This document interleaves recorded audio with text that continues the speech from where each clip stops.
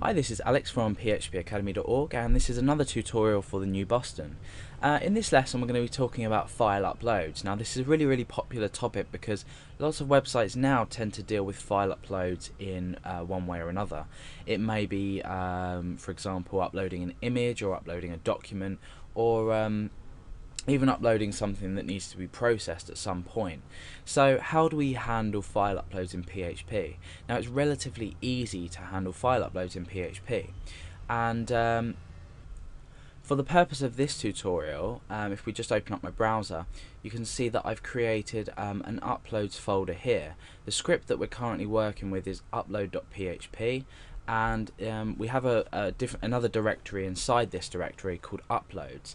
Now the purpose of this tutorial is not to talk about security in file uploads, it's just simply how we take a file um, allow the user to select a file from their computer and then where and then send it to a specific directory. Um, as this tutorial stands, the code in it it's not safe to use on a web server because in actual fact um, the user will be able to upload any file at all. For example, they could upload a PHP file um, and they could mess around with uh, with your uh, server in pretty much any way they like. Um, as with exe files, things like that, executable files. So in this tutorial we're going to be learning how to upload but we're not actually going to be learning how to protect against it. There is another tutorial I have um, in this same file upload series um, with the security um, discussion in there and how to secure against your form data.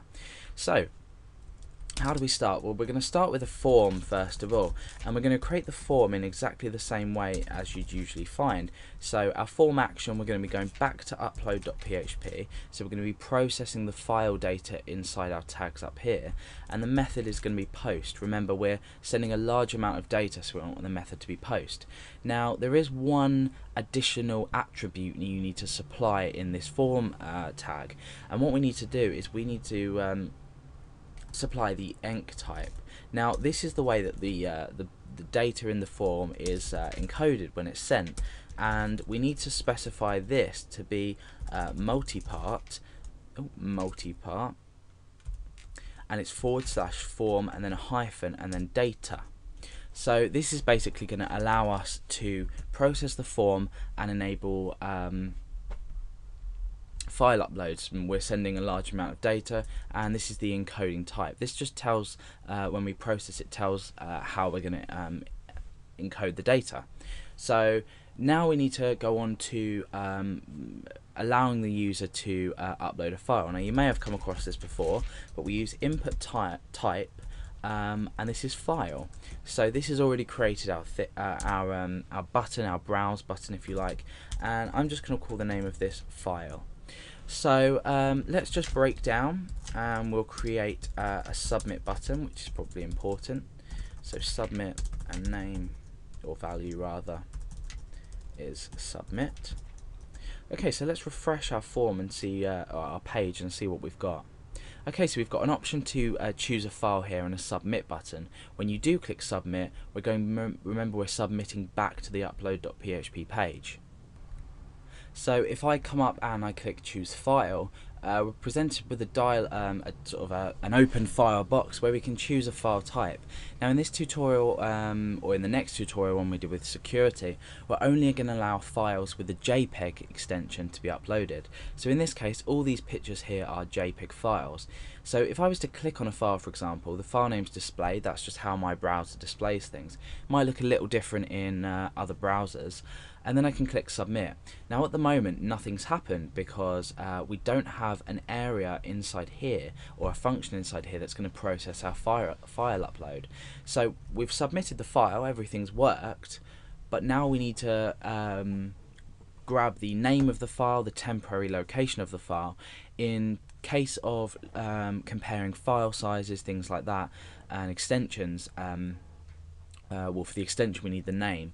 Um, but just as an example here I'm going to create a few variables and then show you how to uh, grab the data um, of the file or different parts of data so we use um, well, in this case I'm calling this name this is going to be the file uh, the, the file name of the file that's uploaded so it's dollar underscore files and then here we put the the name of the uh, the variable name. So this in this case is file because it corresponds to what we've put in the form here. So that's file. And then just like when we use associative arrays, because this is uh, stored as an associative array, we use um, brackets next to it, and in here we just type name.